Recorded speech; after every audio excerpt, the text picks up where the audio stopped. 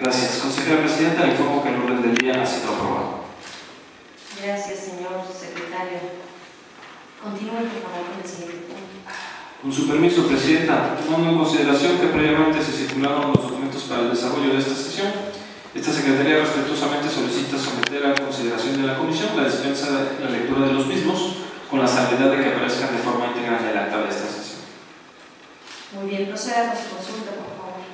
Gracias, Presidenta. Consejeras y consejeros integrantes de la Comisión, por favor, síganse manifestar de forma económica si es de aprobarse la dispensa de la lectura de los documentos referidos. Quienes estén por la afirmativa, por favor, síganse manifestarlo levantando la mano.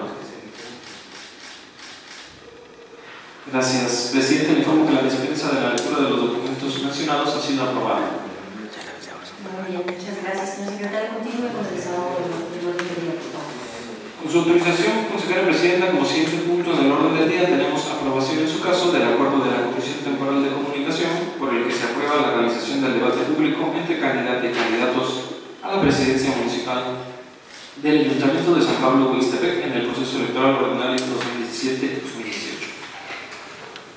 Muchas gracias, señoras y señores. Está en su consideración el proyecto de acuerdo referido. Si no hay observaciones, solicito al secretario técnico revise por favor la votación correspondiente.